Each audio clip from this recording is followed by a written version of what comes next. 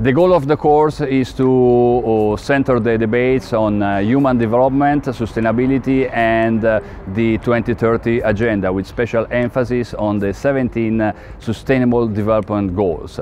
During the course we, we will apply different methodological format like for example group exercise, video material and flipped learning methods.